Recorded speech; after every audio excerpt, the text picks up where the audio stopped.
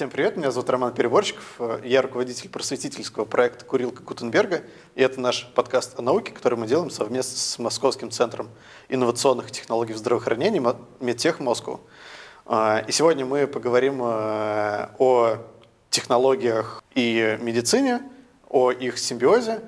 И наш гость э, Руслан Парчиев, основатель компании Medical Neuronets. Здравствуйте. Да, привет, Руслан. Привет. Давай если коротко, э, расскажи, чем ты в данный момент занимаешься, как бы ты определил свою деятельность? Конкретно сейчас я активно занимаюсь непосредственно разработкой. Разрабатываем мы искусственный интеллект в области онкологии, если точнее патоморфологии. Занимаемся корректным определением стадирования рака и всякими прочими интересными вещами. А в целом я являюсь генеральным директором, но я считаю то, что это, наверное, все-таки моя вторая должность, потому что в первую очередь это инженерная работа. Ну и как инженера-программиста? Да. А, в чем заключается именно, ну, то есть инженерная работа программиста? То есть ты а, создаешь структуру, то есть я архитектуру. Кнопки. Профессионально давлю на кнопки. Нет, на самом деле а, работа достаточно всеобъемлющая. А, что из себя представляет подобный проект? А, когда мы смотрим на экран телефона, мы видим фронтенд. Под ним еще несколько сложных слоев. А если мы смотрим на проект, в котором задействован искусственный интеллект, к нему, собственно, и добавляется математическая модель искусственного интеллекта. Заставить все это работать в унисон в условиях того, что это медицинский продукт с высочайшими требованиями, собственно, это и есть моя работа. Ну, то есть, э, по сути, твоя работа в данный момент – это именно разработка, так скажем, программного обеспечения на основе искусственного интеллекта. Верно. То есть ты именно создаешь искусственный интеллект, Верно. как инженер. Э, расскажи, чем этот искусственный интеллект э, занимается, в чем его особенность?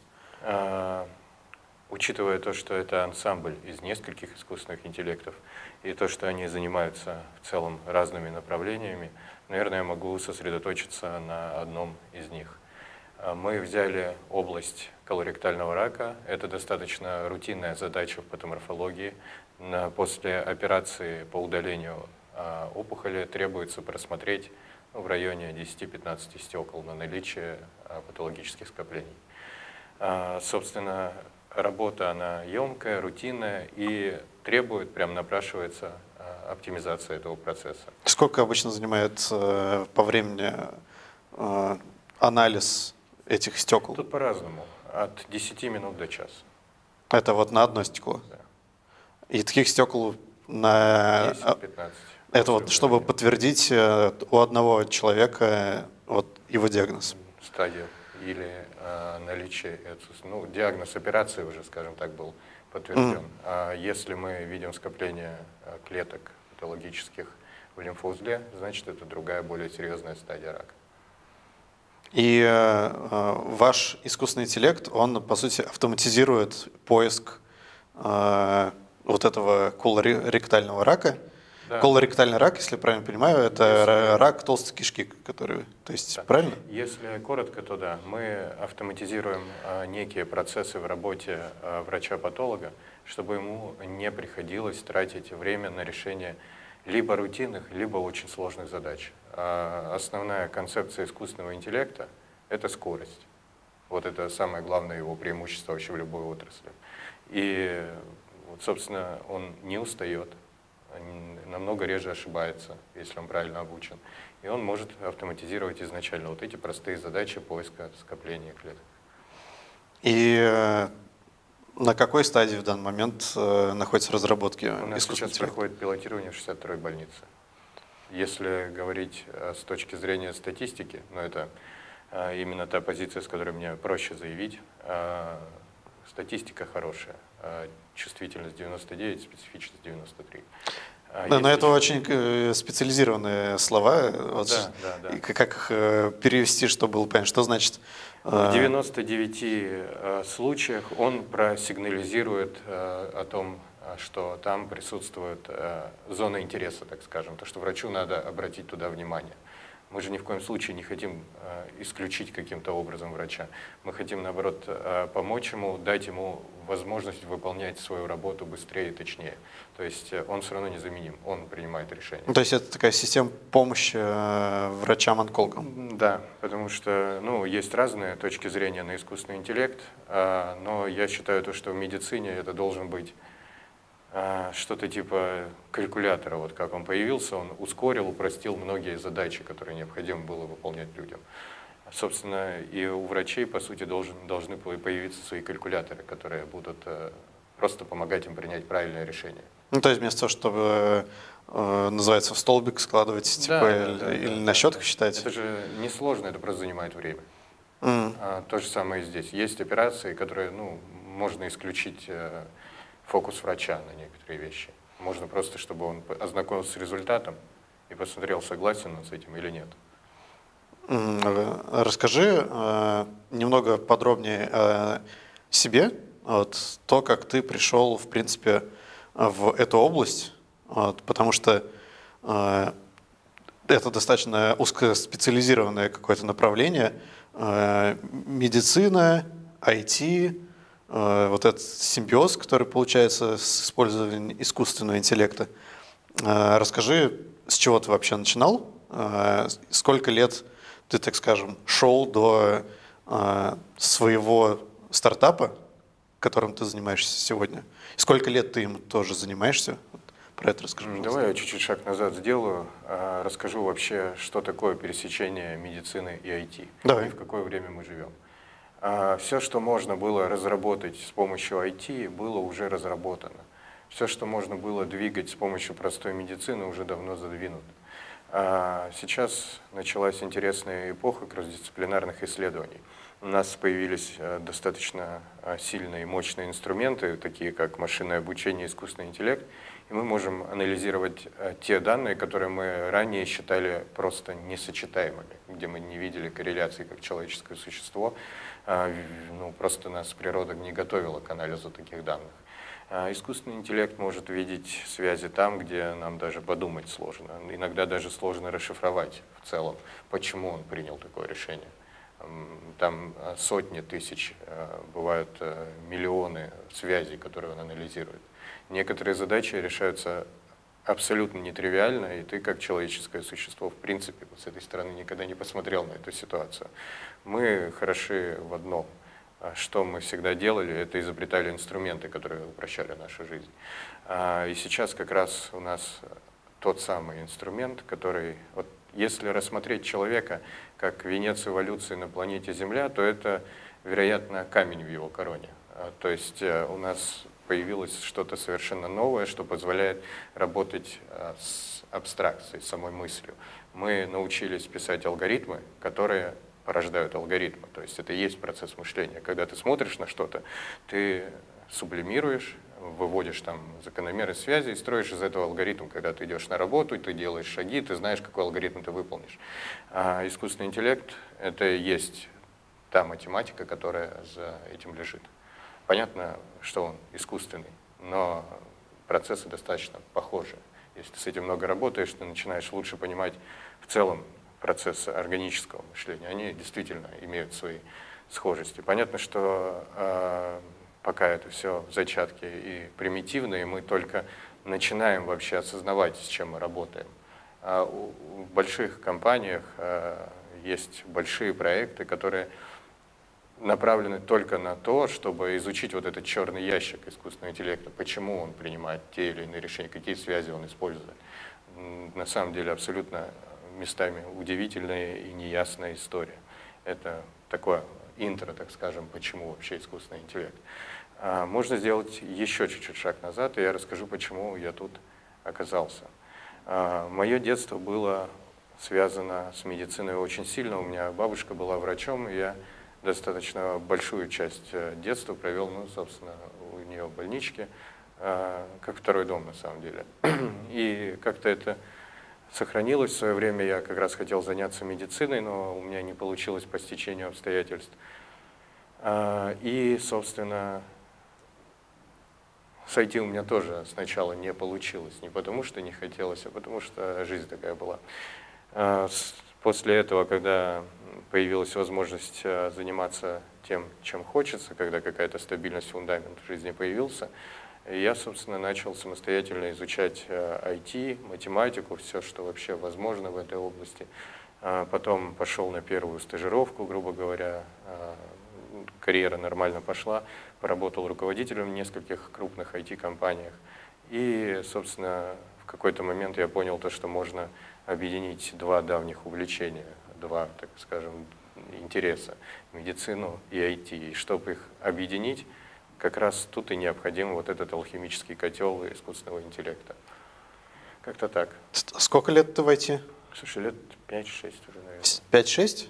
Ну, звучит не очень много. Я как бы интересовался всю жизнь, всю жизнь изучал, но прям работать профессионально начал где-то лет 6 назад. Да. Ну, то есть где-то в 2017 или нет, 15 да, Где-то вот в промежутке 15 и 16. Там сложно сказать, потому что стажировки, вот эта вся движуха. Mm. Можно ли назвать это работой? Конечно, можно, но это еще... Знаешь, а на чем сначала ты специализировался? Бэкэнд Java, потом занимался Android разработкой, потом перешел в машинное обучение, искусственный интеллект, много чем. Mm. Расскажи, э, вот э, в чем отличие, ну, то есть вот даже ты разделяешь машинное обучение, Конечно. искусственный интеллект, то есть это две вроде очень близкие... Это части, части. А, машинное обучение есть часть искусственного интеллекта, глубокое обучение есть часть искусственного интеллекта. А, это вот если взять круги Эйлера, вот так и совместить, на, вот, на пересечении как раз появится искусственный интеллект. А, но вот как, э, просто... как раз расскажи да. про, конкретно из чего он состоит и в чем особенность каждой из этой составляющей, чтобы ну, потому что я на самом деле не очень понимаю как раз вот э, составляющие. Машинное обучение это более детерминированные алгоритмы, то есть э, ну, э, можно сказать то, что линейная регрессия есть машинное обучение. Она проводит регрессию, показывает тебе, грубо говоря, среднее. А глубокое обучение – это когда вот таких вещей становится очень-очень-очень много – когда появляется очень много весов, слоев и критериев, и оно начинает выводить вот как раз те самые сложные и непонятные корреляции, которые невозможно местами даже расшифровать. Ну, я правильно понимаю, что машинное обучение, то есть это вот достаточно известные вот эти картинки в интернете, которые вот там машинное обучение, его там алгоритм научили на, я не знаю, там котиках, и он, э, если ему показать какую-то фотографию, будет везде пытаться найти котиков. Смотри, эту задачу можно решить как машинным обучением, так и глубоким обучением. А, будет э, в одном случае более примитивная задача, ну, э, решение будет более примитивным, то есть он будет видеть котиков, он скажет кот, не кот.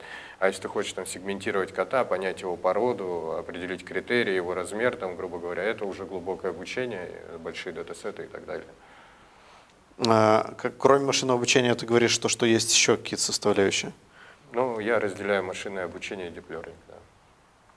В чем особенность learning? А, как я уже сказал, там намного больше слоев, больше алгоритмов, больше... Ну, то есть больше переменных, по сути? Ну, по сути, если простым языком, то да. А почему оно глубокое? Потому что в нем, вот смотри, что такое э, линейная регрессия? Это, грубо говоря, полоса, которая между точками проводится. А в глубоком обучении этих полос и этих точек, персептронов, вот этого становится очень много. Они э, не, нелинейно друг с другом связываются, выстраивают какие-то цепочки, и те остатки самых сильных связей являются правильным решением, так скажем, глобальным минимумом для решения задачи. А ты, э, отвечая на предыдущий вопрос, сказал, что искусственный интеллект сегодня представляет собой э, черный ящик, э, который, по сути, дает ответ, непонятно на чем основываясь. А, удивительно, но да, нет, конечно, те, кто этим постоянно занимаются, они понимают, но фактически во многом они понимают это на границе интуиции. Типа, да, понятно, мы это сделали, да, понятно, она работает так. Но чтобы понимать точные корреляции, для этого практически зарождаются новые науки, так скажем. Грубо говоря, фичер экстрактинг, как оно вообще работает, как понимать, э, как понять, какие критерии она изучила и выдала такой результат, это практически уже целое направление в этой области. А расскажи, как вы определяете, ну, то есть, насколько, в принципе, для вас это важно? То, то есть, э, это как, ну, такая аналогия, то, что вот, например, э, изобрели лекарство, хрен знает, как оно работает, ну, то есть есть класс таких лекарств, которые непонятно, как они работают, но они эффективны. Именно биологические процессы, которые происходят в организме при их приеме, до конца не изучены, но очевидно, что, я не знаю, там, э, человеку очевидно становится легче от их приема. А, в вашем случае, как эта аналогия, пример, также работает, есть вы даете а, данные искусственному интеллекту, он их анализирует, и ну, то есть вы насколько детально понимаете, а, где интеллект работает, то есть как вы как раз определяете, что он работает именно так, как вам надо, а не допускает какие-то лишние ошибки, как вы проверяете его эффективность? Знаешь, на самом деле, когда мы только начинали, и было важно просто проверить гипотезу, насколько точно и качественно и быстро можно выполнить эту задачу, мы никак не проверяли. Но с того момента прошло N времени. И за это время мы, во-первых, начали разрабатывать свою модель, и даже успешно ее продемонстрировали и внедрили. И, во-вторых, мы начали как раз заниматься фичер-экстрактингом, и теперь имеем полное понимание, как это работает. А, а зачем это нужно? В большинстве задач, которые не касаются медицины, это в целом-то и не нужно. Он ну, работает и работает. А когда ты работаешь с медициной, а, на тебе огромный груз ответственности. Здесь не должно быть. Я не уверен, почему это работает. Я не знаю, как оно. Таких ответов быть не должно. А когда ты работаешь с медициной, ты работаешь с врачом и пациентом. От этого зависит жизнь. Поэтому ты должен знать каждую переменную. Почему так, зачем так. И на это был особый упор сделан, и, собственно, поэтому мы достигли и в других областях некоторых успехов, и модель работает очень хорошо. Потому что теперь ты точно знаешь, как, что сделать, чтобы она работала.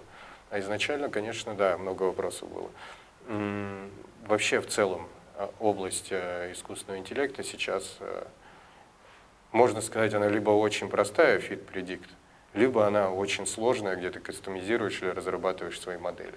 Для одной задачи хватит прочитать книжку, а для другой задачи надо положить на математику положить. Собственно так.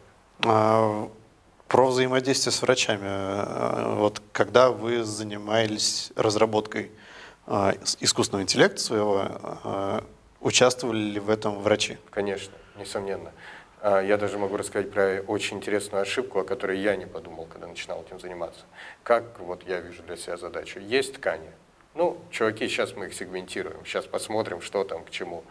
Это абсолютно бессмысленная постановка задачи. Она не решает ровным счетом ничего, потому что врач, он всю жизнь учился, и он хорошо это делает. И ему он там за километр поставив картинку, он увидит там, где онкология. А, задачу решает конвейер нам необходимо построить э, конвейер, который будет э, оптимизировать систему здравоохранения, так скажем. То есть э, ты должен загрузить условно 300 снимков, а врач должен посмотреть только на то, что действительно нужно, ну, потратить время только на то, что действительно нужно. Вот это решает задачу. А как ее сформулировать, поставить мне? Я же даже не понимаю, что там смотреть, я же не врач.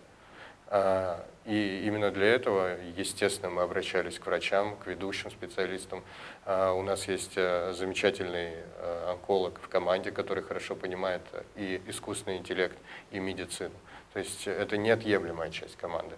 И один из э, всех, вот так скажем, ключевых компонентов и шагов, которые людям надо предпринять, когда они идут в медтех-стартапы, это выработать тот язык, который свяжет нейронщиков, айтишников и э, врачей.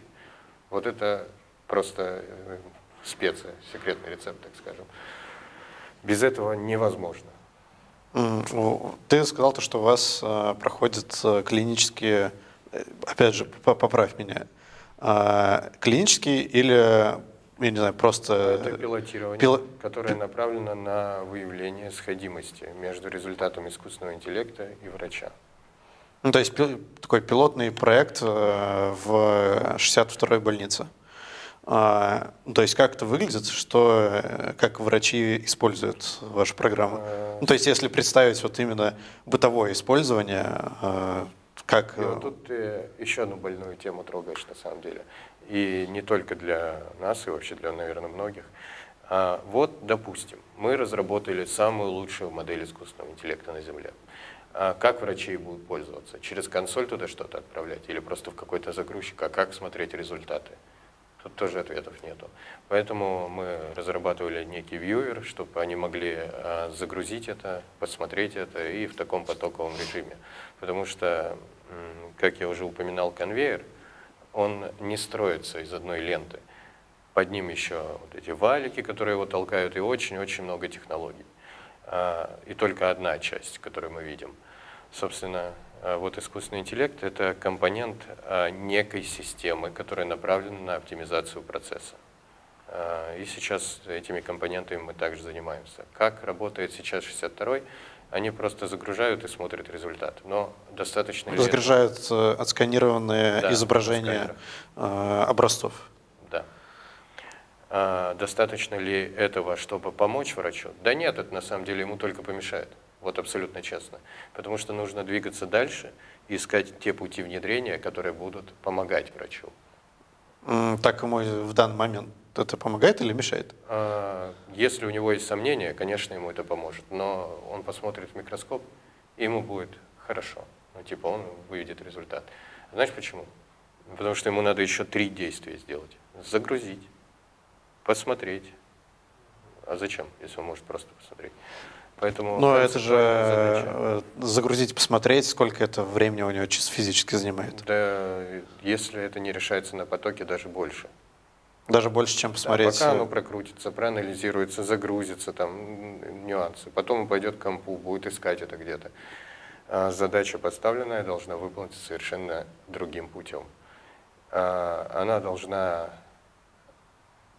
понять, где вот этот вот э, временной затык, где вот эти самые препятствия у врача, что мешает ему э, вот сейчас прямо получить результат.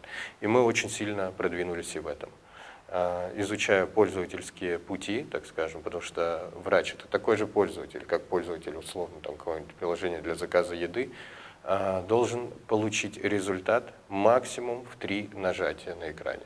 Это как бы моя политика в целом отношения к пользователю. А, он не должен быть напряжен, ты не должен создать ему проблемы, ты должен облегчить его жизнь. И вот это не менее нетривиальная задача, чем разработка искусственного интеллекта. Вот э, именно Ну, ты имеешь в виду создание удобного интерфейса? Некого интерфейса, некой платформы, некого... Знаешь, вот как можно охарактеризовать эту задачу? Это создание интерфейса взаимодействия между искусственным интеллектом и врачом. Она нерешенная вообще. Типа, она, если и решена, то она не помогает, потому что тебе надо что-то нажать, что-то проанализировать, чего-то подождать. Сколько подождать, неизвестно, потому что модели работают по-разному. Как модель отработает, тоже непонятно. Нету пока что вот этого самого связующего звена между искусственным интеллектом и врачом. И я считаю, то, что эта задача также важна, и я ее, собственно, решаю. То есть э, в данный момент э, врач э, в 62-й больнице, э, то есть если он будет оценивать по одному образцу, э, так скажем, у него выбор пойти налево или направо, к микроскопу, э, в который он э, сам посмотрит, и э, в другую сторону к компьютеру, в который надо загрузить изображение, проанализировать, посмотреть результаты и так далее, и так далее. Ну, то есть и то, и другое примерно одно и то же время занимает. Но... Да, потому что и он выберет то, что ему привычно. Но он... если у него э, не один образец, ну, то есть ты же сам говорил, что чтобы по одному конкретному, э, так скажем, по одной конкретной онкологии от одного конкретного пациента сделать заключение, ему нужно посмотреть там 10-15 образцов, вот, а может даже и больше. А, а тут он сможет загрузить сразу все 10-15 образцов или там, не знаю, 300 образцов, если вдруг там, я не знаю, может даже не один человек, а он просто за день просто берет, принимает, э, сканирует просто их э, образцы, загружает в компьютер и в конце дня получает э, большую базу данных, в которых уже видит, на какие конкретно образцы надо обратить внимание. Ну, то есть э, в единичных случаях оно может и одинаково времени занимает, но если вот именно подойти, так скажем, именно к какой-то поточной системе, когда ты ну, это как, я не знаю, э, первый конвейер, построенный да, Генри да, Фордом. Да. То есть э, человек весь день крутит гайки и, и делает это в 10 раз быстрее, чем если бы он и крутил гайки, и сразу после этого, я не знаю, шел бы за новыми. Ну, то есть у него уже гайки под рукой, он как бы собирает быстро. Я к этому и веду. А, одного лишь модуля искусственного интеллекта не хватит. А, ну ты про то, что для, этого нужен э, удобный интерфейс. Не только это? интерфейс. Это же огромное количество работы, которое необходимо сначала придумать, изобрести, а потом выполнить. Ну, ты можешь просто перечислить вот именно, э, так скажем, э, цепочку, в которой, ну, то есть чего в этой цепочке в данный момент не хватает, на каком этапе?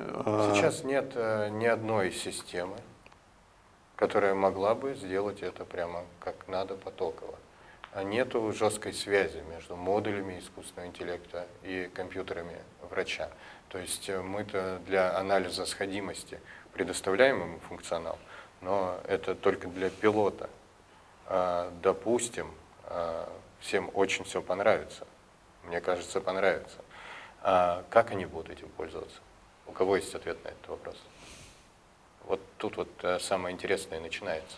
В рамках подобных проектов нельзя размышлять, то, что ну, сейчас я сделаю отличную модель, и как-нибудь они с этим разберутся. Нужно дать врачу возможность сэкономить свое время. А экономия начинается не только в анализе изображений. Она начинается с момента, когда он открыл комп, и у него все под рукой. Ему не надо никуда бегать. У него есть база, у него есть изображения, которые сами анализируются, сами выдают ему результаты, уведомляют о том, что какая-то работа выполнена. Она должна быть выполнена и сделана. Вот почему я привожу в пример доставку еды. Удобно. Вот ты заказываешь еду. Отлично продуманное приложение, вообще в деталях. Ты просто вот кнопку нажал, получил результат, вообще не думаешь. Настолько не думаешь, что ты готов платить за это больше – чем готовить дома. Это, ну, как бы тебе предоставили, ты согласился. А тут немного другой вопрос. Почему медицинское программное обеспечение в целом не может работать так же? Почему оно а, не создает ту форму, а, куда перетекут привычки врача или пользователя в целом, вот ты 10 лет смотрел микроскоп, ты научился, тебе удобно. Зачем тебе переходить куда-то? Да незачем, если это неудобнее. И вот нужно, чтобы э, глубина удобства всей этой системы превысила человеческий опыт, который он получил. То есть ты не можешь э, убрать со столов все микроскопы и сказать, а пользуйтесь вот этим. И не должен. Ты должен, наоборот, решить саму проблему в корне. А в корне она другая. Она кроется не только в искусственном интеллекте. Вот, а, как раз в продолжение, а, так скажем, твоего тезиса, а, правильно ли я понимаю, то есть ты говоришь про то, что вот есть удобное приложение по доставке еды, но под одной кнопкой, которую ты нажимаешь «Доставить», там, да, огромный механизм, курьеры, да. рестораны, то да. есть все это но взаимосвязано. Ты даже не думаешь, что нажимаешь. правильно ли я понимаю, что для того, чтобы подобные системы работали эффективно, медицинские учреждения должны перестроить э, себя частично изнутри, то есть вот то как раз, о чем ты говорил, чтобы человек одновременно не занимался там э, и загрузкой изображений, потом пойти к компьютеру посмотреть, что получилось, то есть это должен быть конкретный один сотрудник, который его работа именно в том, что он загружает все изображения, которые ему, э, ну сам их, э, так скажем, для сканирования куда-то дает, э, и следит только за тем, чтобы они, так скажем, были в вот этой информационной системе, в которую, которой будут пользоваться врачи. То есть это как раз постройка вот этого э, э, механизма внутри больницы, по сути, я имею в виду. Постройка механизма и сама вот эта информационная система, она должна быть спроектирована вообще с другой стороны, не с той стороны, с которой они сейчас. Знаешь, в чем разница, э, вообще отличие медицинских, вот э, приписки тех, медтех, например, от какой-нибудь обычной продуктовой разработки? Продуктовая разработка смотрит вот так назад, а что там было пять лет назад, как вот это сделать получше, как продать побольше. Тут такой цели в принципе не может быть. Ты, когда занимаешься такими вещами, должен думать только, а как это будет через 10 лет, а с чем вот это все столкнется, а к чему мы идем. А если ты сможешь ответить себе на этот вопрос, тогда ты поймешь, что здесь надо делать, тогда и поймешь, как это делать. А, я считаю, то, что мы внутри команды ответили на этот вопрос и э, как раз занимаемся созданием вот этого того, что сможет соптимизировать все процессы, которые связаны с искусственным интеллектом в больнице. Расскажи как раз про свою команду. А, ну, во-первых, сколько лет э, стартапу, сколько человек а, в данный момент э, активно занят разработкой, так скажем, вашего программного обеспечения. И как, в принципе, вот, ну, то есть, так как у вас стартап, а, очевидно, что вы еще не предоставляете каких-то коммерческих услуг, то есть вы находитесь в стадии именно развития. А, и, э, то есть, как существует в данный момент стартап, держится на плаву, а, что позволяет ему э, не схлопнуться в небытие, как э, там тысячам других. Давай я расскажу одно. Тут одного слова достаточно. Идея, которая превращается в идеологию. А, опять же, в чем здесь корреляция с медициной и медтехом? Это благородное в целом дело. Ты, твоя задача здесь э, помогать людям. Ну, научиться лечить рак эффективнее, чем до этого, это э, ну, очень ну, крутая идея. Э, лечить не знаю, но помогать. Ну, помогать. И, в целом, я имею в виду, что целом, конечно, если система да. будет эффективнее обнаружать э, рак, то, ну, соответственно, это позволит эффективнее бороться с этой проблемой. Конечно, хочется потом в дальнейшем прям изучением э, самых основ также этого заняться и поискать что-нибудь, но это потом. Давай вернемся к команде.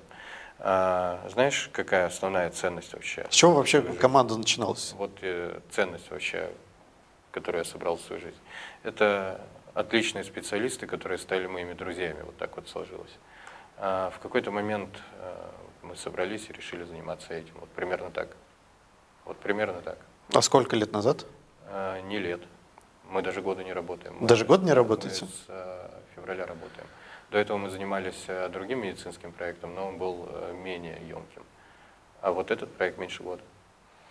То есть вам меньше, чем за год удалось уже создать платформу по анализу э, да. раковых, э, ну, по обнаружению раковых Ну смотри, Ром, я сегодня отсюда вышел в 7 утра. Собственно, я в таком режиме очень долго уже. И ребятки также замотивированы. Ну, ты имеешь в виду, типа, в 7 утра вышел с работы? Да. А, сколько человек в команде? Сейчас 31. 31. Но вот появляется, то есть то, уже вторая часть моего вопроса про э, что позволяет вам держаться на плаву. Смотри. Ну, то есть ты ответил частично, что это как бы идея, а, но если, так скажем, перевести твой ответ, а, если я правильно понимаю, ты имеешь в виду, что а, то есть многие из вас работают то есть, ну, за идею, а сами зарабатывают на другой работе. Правильно? Кто-то, кто-то есть и такое.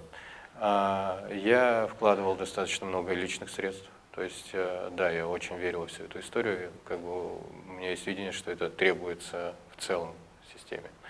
А, кто-то просто помогает, кто-то полноценно работает. А, были какие-то сторонние проекты, которые позволяют финансировать всю эту историю. И она совершенно не дешевая, я честно скажу. Здесь где ты найдешь просто вот разработчиков, которые шарят в медицине? Начнем с этого. А без этого здесь сложно. Где ты найдешь нейрончика, который вот э, хорошо коррелирует с этим? Как вообще это сделать? Их надо делать самим. Вот надо самим проходить этот путь. И как часто тебе приходится, например, общаться с инвесторами, вот, чтобы а, поддерживать не, э, проект на плаву? Я не, пока не общаюсь с инвесторами. Не общаешься? Ну, нет, я общаюсь, но я никогда... Вот, наверное, это моя проблема, я не знаю, смотрю наверх вокруг, и а, мне до сих пор это не ясно. Я никогда не продаю презентации. Если я хочу что-то продать, я прихожу и показываю готовый продукт. Вот сейчас я могу показать там искусственный интеллект, например, могу вот еще что-то показать, только в таком формате. Но э, у меня, я не представляю, как можно прийти и сказать, мы сделаем. Я могу сказать, мы сделали, вот так вот. Это немного более долгий путь. У тебя не было никогда опыта э, такого лифт-питчинга, когда ты там за одну минуту э, как-то препод, преподносил свой проект, что люди такие, блин, э, э, охренеть, как звучит, покажи нам. Я за одну минуту только слово патоморфология могу выговорить То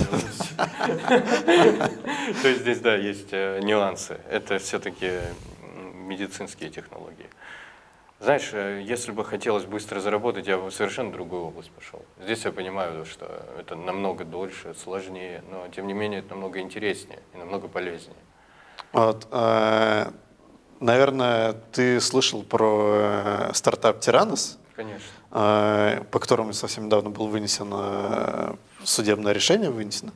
Э, расскажи, как, в принципе, э, ну, приходится ли тебе доказывать, что ваша программа действительно работает эффективно, а не то, что... Ну, то есть вот ты говоришь, что эффективность программы достигает 99%.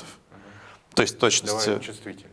Это ну, чувствительность. Окей, чувствительность. Важно быть э, точно в этих терминах чувствительность программы 99%, то есть звучит э, обалдеть как э, круто. Ну, то есть как будто бы э, единичку до 100 не добавляете только для того, чтобы чисто теоретически предположить, что не во всех случаях она может эффективно сработать, но из всех, но практически идеально работает. Можно прокомментировать? Да, конечно. Смотри, а, вообще чувствительность, специфичность – это отличные статистические показатели. Круто все. А, Объясни как они, раз, в чем они... вот э, дополнительно, в чем именно особенности э, именно этих терминов, чтобы ну, для меня… Давай я попробую на пальцах. Это Давай сложно. Вот э, чувствительность, это как часто она сработает, когда все-таки есть рак, а специфичность, насколько она точно ограничит его границы. Mm. Вот если коротко. Э, это хорошие статистические инструменты, но в медицине они не работают. Здесь есть клиническая ценность. Это вот хоть миллион процентов у тебя будет, э, хоть ты 140 там выдашь. Нет, э, это не имеет ценности. То есть это не есть показатель для нашей работы. Mm. Для нашей работы единственный показатель – это клиническая ценность. Насколько мы помогаем врачу, насколько это сказывается на выживаемости, насколько это полезно пациенту. А это как-то подсчитывается? Это врачи подсчитывают уже, это не мы подсчитываем. Mm. Вот как раз э, пилотирование для этого и нужно. Я не тестирую там скорость или еще что-либо. Я хочу протестировать конкретно клиническую ценность, потому что статистика, она статистика, но она же оторвана от реальности. Вот когда говорят эти показатели, это хорошо, чтобы оценить качество работы модели, но не самого продукта. Вот примерно так. Вот, а, и все же, как приход... то есть вам приходится как-то доказывать, что э, ваша программа, э, программное обеспечение, что оно работает эффективно, и что Конечно. вы не самостоятельно вот придумали конечно, и взяли конечно. из воздуха эти цифры? Я всегда. А, вот ну, то есть как вот э, перед тобой сидит там, допустим, давай. главный врач какой-нибудь больницы и говорит, вот убеди меня, что она работает эффективно. А я ему говорю, выбирай лимфоузел, вот нажми кнопку загрузить и посмотри на результат. И после этого мне говорят, блин, вы молодцы, круто. Mm. Вот я только так могу. А ну, показать э... презентацию, рассказать пич нет. Я не, не занимаюсь этим нужно, наверное, какого-то человека для этого нанять, который будет этим заниматься. Я занимаюсь разработкой, я инженер в первую очередь. Мне важно, чтобы это работало. Как я могу узнать, работает это или нет? Я могу прийти к главному врачу и сказать, есть лимфоузел? Он говорит, есть. Загрузи сюда, скажи мне, работает или нет. Он загружает, оно работает, он доволен, я доволен. И после этого я могу уже спокойно прийти к людям и сказать, у меня работает. Я не, наперед не собираюсь ничего здесь делать. А, ну, э, У меня пост, так скажем. Э, После э, уже апробации ты приходишь и показываешь, ребят, у нас работает, тут не надо, верить или не верить, есть факт. Mm. А, так мне легко. А, обещать я не люблю, особенно во всяких, вот ты Тиранос а, пример привел. Когда ты инвестируешь э, в подобные вещи, какие-то вообще сверхсложные, инновационные, да, ну, надо учитывать то, что, вероятно, ты скорее спонсор э, исследования, которое может, в принципе-то и провалиться, если тебе еще ничего не показали. Там нет гарантий. Поэтому э, я прихожу с гарантиями. У меня уже есть. Угу. Ну, то есть не про то, что мы, мы сделаем такую программу, а про то, что она уже сделали, сделала, сделала, как бы, да. сделана. Мы сделали, это моя как бы, Да, и она уже работает. Расскажи, а, с какими сложностями приходил? Ну, то есть были какие-то моменты, когда ты такой, блин, типа, какой-то полный трэш, а, ничего не получается, или ну, какие-то тупиковые ситуации, когда ты думал, что, блин, зачем я вообще этим занимаюсь? Я тебе честно скажу, технологических ни разу. Мы очень много раз находили путь, как делать не надо. Я, я имею в виду в контексте, в принципе, э, так как ты не, вот, э, не только э, инженер-разработчик, ты и руководитель компании. Вот я в большей степени, наверное, имел в виду именно вот вторую составляющую твоей работы. Первое является частью целого, и второе является частью целого. Поэтому я могу с любой стороны ответить, и это будет работать одинаково. Мы много раз находили пути, как делать не надо, но это всего лишь такие же открытия, как и все остальное. И теперь мы гораздо точнее знаем, как надо делать. Вот так вот. То есть, да, естественно, были сложности. А были ли сложности, с которыми невозможно справиться? Нет и не будет. Таких, наверное, сложностей в мире не бывает. Можно выбирать неоптимальные пути, делать неправильные решения, но с чем-то не справиться, если у тебя есть мотивация, нет. А какие в данный момент, э, ты говоришь про то, что ваша э, платформа, она работает, ну, то есть это не один искусственный интеллект, а сразу Мы несколько. несколькими областями искусственного интеллекта и в области патоморфологии и радиологии. И мы хотим собрать их все вместе в некое удобное для пользователя представление. Ну, то есть, чтобы можно было загрузить, в принципе, э, лю, то есть, чтобы врач мог загрузить любое изображение, э, связанное с онкологией, ну, любой части тела. Не э, только с онкологией. В идеале, как я ставлю себе глобальную цель, э, любое медицинское изображение и получить тот отчет, какие системы искусственного интеллекта там есть. Вот прямо, чтобы все было четенько и быстро. Это программа «Максимум». Расскажи, ты говоришь медицинские изображения. Какие э, медицинские изображения можно проанализировать? Ну, то есть это, э, если брать образец ткани, вот отсканирован, то по сути это фотография. Ну, да. это фотография в крайне высоком, очень высоком разрешении, которая открывается, естественно, Насколько высоком? Картинка. Ну, 100 на 100 тысяч пикселей, например. А, весит она в среднем 3 гигабайта. Сам это одна фотография? Да. А, сам понимаешь, что, что там а, куча технологических проблем еще с этим было, как с этим работать, как это быстро анализировать, как это конвертировать, как это показывать, потому что кэши браузера просто тебе же не дадут открыть такую картинку, а если даже и дадут, как это за счет ресурсов а, пользователя открывать. Короче, а, да, кстати, как э, эта программа будет работать, если вот предположим, э, проходит пилотный проект в 62-й больнице, все говорят, что в восторге, и пытаются внедрить это в большее количество медицинских учреждений, а, где, я не знаю, компьютеры работают на Windows 95 условно, ну, я имею в виду не конкретную операционную систему, а то, что они слабые. Mm-hmm. Там, я не знаю, Core i3 mm-hmm. или Pentium, и позволит ли им слабое железо заниматься как раз работой, или им придется заказывать мощные какие-то я не знаю, системные блоки, сервера, чтобы они анализировали все это на месте? На самом деле зависит от количества изображений, которые надо проанализировать. Но как в целом выглядит система? В любом случае в больнице должен быть некий сервер или кластер. Угу. А, должен ли он быть мега дорогим? Нет, на самом деле не должен. Ну, то есть чего достаточно будет? Да, 3090 видеокарты достаточно. Инференс-модели это не так, чтобы страшно. Это обучать сложно вызывать намного проще. К тому же мы там оптимизировали все под самые уши, и даже на условно далеко не специализированном оборудовании, так скажем, он занимает минуты 2-3, 4, когда как зависит. Ну, 3090, э, ну, ты имеешь в виду GeForce э, видеокарту. Угу. А, ну, а то есть ты это... хочешь спросить про компьютер пользователя? Ну да, именно компьютер а, пользователя, вот деле, врача. А, как сказать? Вот у меня ноутбук, MacBook. А, когда ты ставишь на нем тротл процессора в 10 раз, оно работает идеально.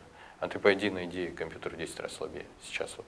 Если запускать все это на обычном компьютере, самом обычном оно работает отлично. Ну, то есть, по сути, любой компьютер сможет потянуть да, программу. Да, А все анализируется именно где-то а, на удаленном сервере. Ну, то есть, главное, по сути, чтобы было соединение с интернетом. Ну, либо с интернетом, либо с локальной сети в больнице, где это развернуто. Mm, ну, то есть, если где-то в региональном центре, например, да, есть сервер и локальная сеть объединена. Ну, то есть, первое, значит, это фотографии в крайне высоком разрешении, которые можно, ну, получается, на а, любом компьютере, так или иначе, вот именно пользователям э, обрабатывать, анализировать. Ты говоришь, вот другие изображения это радиология. МРТ, некое видео, потому что с видеопотоком тоже а ви, ну, что имеется в виду? Ну, представь себе какую-нибудь колоноскопию условную или что-нибудь там, любой эндоскопический процесс, где вводят э, телескоп, камеру. Да, да, камеру и смотрят. А, видеопоток — это набор байтов, ну, то есть изображений. Собственно, искусственный интеллект отлично с ним работает.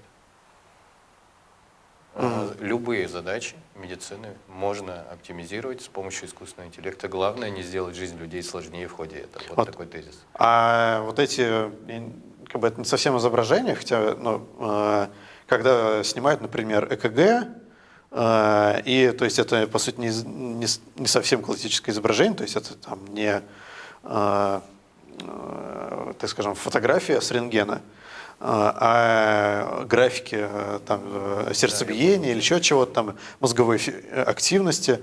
То есть можно ли Э, натренировать искусственный интеллект вот на поиск патологии по этим данным? Я тебе скажу так, там, вероятно, даже искусственный интеллект не нужен. Вот такие задачи могут как раз машинным обучением решать. Ну, вы этим занимаетесь? Нет, мы этим не занимаемся.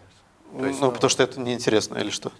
Да, мы э, в своем проекте взяли те задачи, которые очень мало изучены с точки зрения искусственного интеллекта. В мире ни одного коммерческого решения на тот момент не было, когда мы начинали заниматься колоректальным раком. Э, были исследования и так далее. А сейчас есть коммерческие сейчас решения? Знаю, честно, сейчас без разницы уже стало, потому что надо доделывать, а не смотреть. Вот, а коммерческие решения, ты говоришь, когда начинали, тогда не было, а сейчас коммерческие решения уже есть? Не знаю. Я просто говорю то, что на тот момент. А, на тот момент точно знаешь, что просто не было. А, тогда скажи, то есть, вот какой обозримой а, временной вот этой перспективе ты видишь а, именно выход на какую-то так скажем, именно работу а, уже не стартапа, а компании. То есть, когда вы уже будете поставлять а, какие-то услуги, то есть какой-то горизонт, через который, там, не знаю, Слушай, месяцев, думаю, лет. Месяц-два произойдет. Вот. И э, будет уже работа с, по сути, клиентами. По сути, да. Расскажи тогда, э, ну, последний вопрос, завершающий. Э, какое, каким ты видишь э, собственное будущее и э, будущее компании? Давай начну с собственного будущего. Ни в один из моментов своей жизни я бы не хотел, так скажем, отрываться от самого процесса производства. Мне очень нравится все, все то, чем я занимаюсь. То есть надо полностью понимать это, надо жить этим. Это классно, интересно на самом деле. Это нравится людям вокруг. То есть э, действительно есть смысл в этом, э, в работе. Как бы она же определяет человека.